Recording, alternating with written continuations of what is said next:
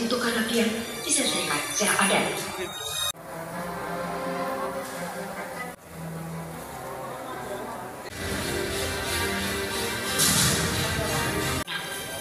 juga para penjahat ini berusaha memasukkan berbagai jenis khusus Polri dan Polda Metro Jaya berhasil narkoba terus dilakukan oleh pihak kepolisian, terutama Satgasus Polri dan Polda Metro Jaya.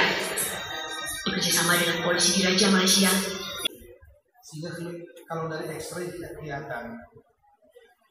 Berlanjut dari penangkapan itu dilaksanakan jam 9 malam. Beberapa waktu kemudian ditangkap lagi di daerah Dadak Kosambi Tangerang ini saudara Andi.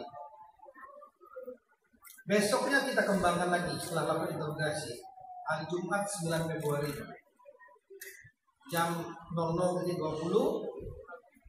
di Terminal 3 Bandara Soekarno-Hatta ditangkap tersangka yang bernama Lim Tok Hing alias Ong Lai alias Momo warga negara Malaysia.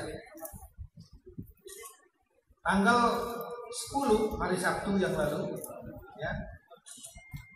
Ini Lim Tong Hing alias Ong Lai ini waktu dikembangkan berusaha kabur melawan maka ditindak tegas dan tewas dengan tembakan dalam perjalanan menuju rumah sakit.